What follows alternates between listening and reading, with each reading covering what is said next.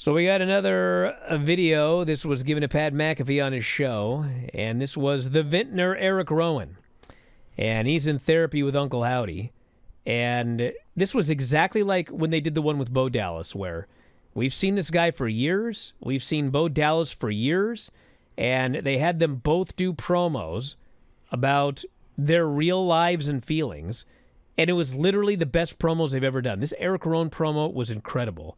He's talking about how we were a family, unstoppable. One day the whole world changed. I lost a brother, person in this world who believed in me more than anybody else, just gone. Knocked me on my ass, but I got up, I wiped the dust off, I kept moving, life goes on. And then when I felt like I had everything going, my other brother, he was gone too. I had no more family, no more will, nothing. Fell down a well I couldn't get out of. Didn't want to get out. How could I want to get out? Couldn't move, numb to everything, numb to, numb to the world. Who's going to miss me? I'm just rowing. And he lifts up his sheep mask and he says, This mask gave me hope. When I was at my lowest, you reached out to me, you pulled me up, and I accepted it because I needed help. I had a purpose to help those like myself. This is a great promo. These guys are supposed to be heels? No, no, not at all. They're baby faces. They're total baby faces. No, they they're not supposed Especially to be heels at all. feuding with Chad Gable. we'll No, they're to total. later. They're total. They're total baby faces. They've been babyfaces all along. Yeah. Well, I mean they're they're all creeps. We got a got a murderous buzzard.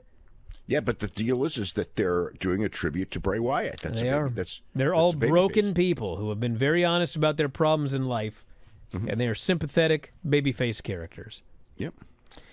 Jey Uso versus Dominik Guerrero. Dominik Mysterio. Dominik Mysterio. Eh, in storyline, he's Dominik Guerrero. At one point, yeah, when he was a kid.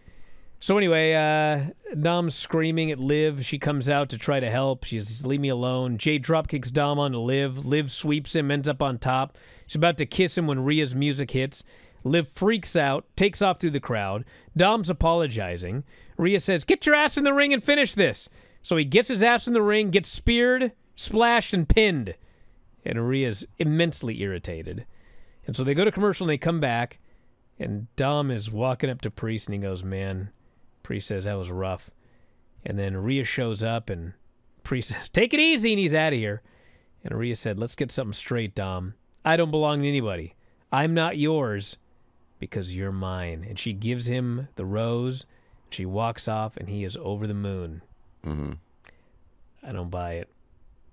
Well, She'll, don't don't, she'll get her revenge.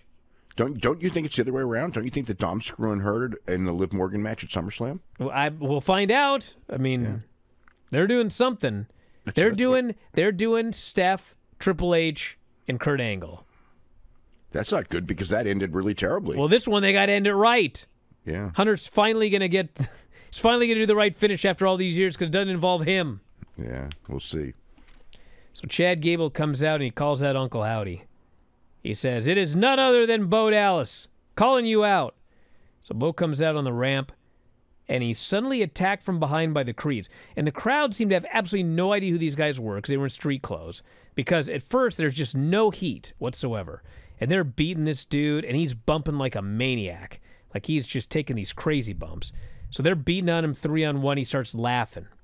So Chad goes over to the corner, keeps beating on him. They suplex him. He's still laughing. And finally, Chad says, uh, What are you laughing at? And Bo says, There you are. And the lights go out.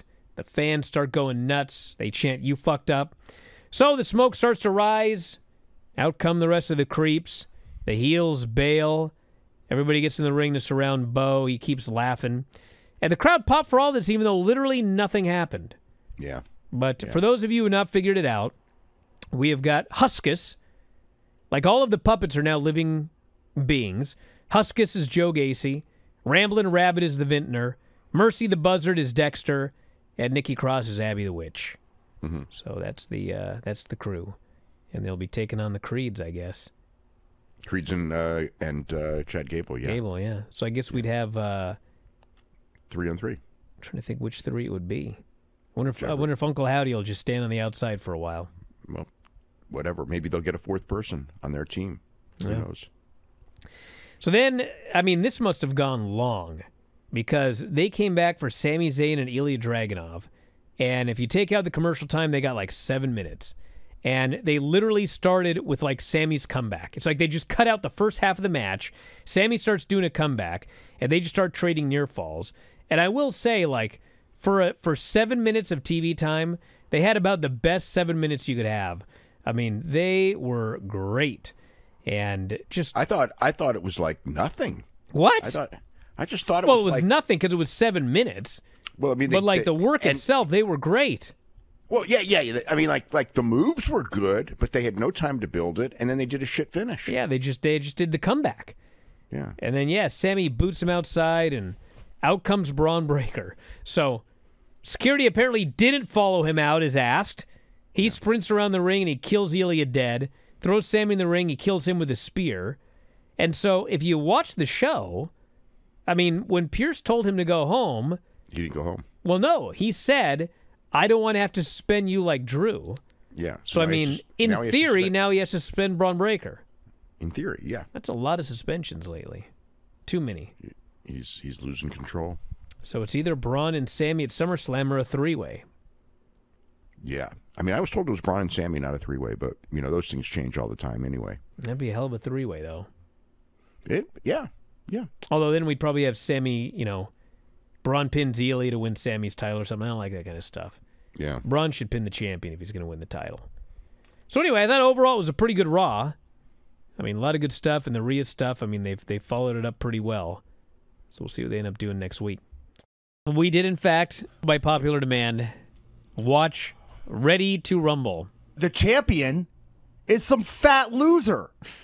Yeah, he's a completely talentless, no athletic ability, can't wrestle, broke bum that walked out on his wife and kid. But he and was he's over. the world champion. He and was in the he- movie. The well, yeah, but storyline that's a microcosm of wrestling. Sadly, Yes, he feels so bad about drinking this entire slushy that cost a dollar twenty six, and he he sticks his finger in his asshole and walks up to the clerk.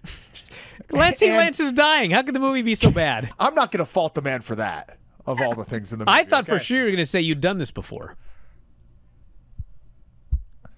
there's a reason I'm not going to fault the man for that. I, I just think with all the porta potties and farting in this, that I think Vince McMahon was a secret uh, producer on this film. Had to have been. So then we get the the Shermanator.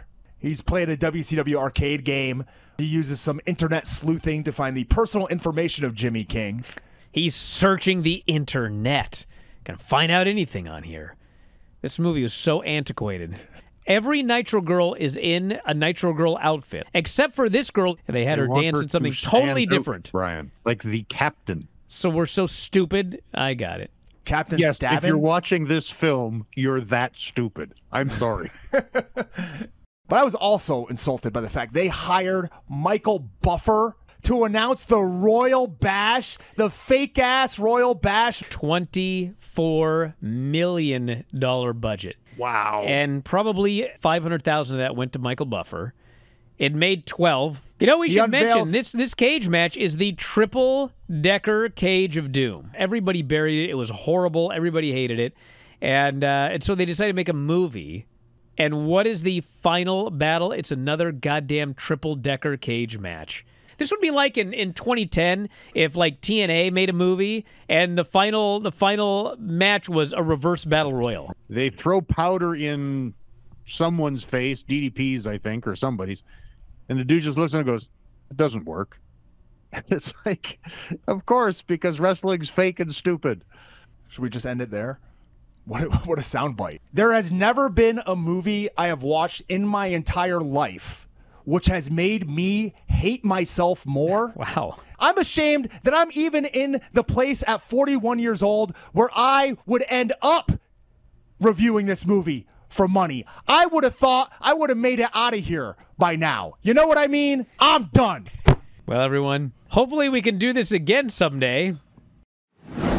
Instead of suffering through the YouTube chat, click like and subscribe.